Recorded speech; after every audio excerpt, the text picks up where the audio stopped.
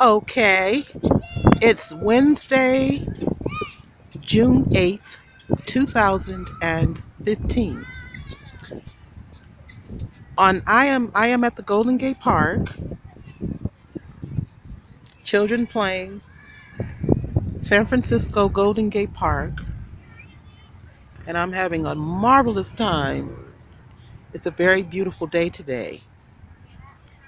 Wow. Everything still looks good.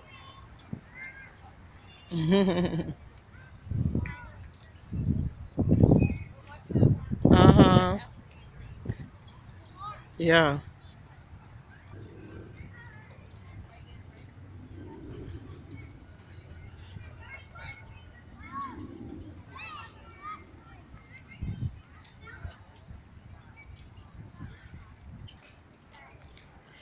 Oh, it's fabulous.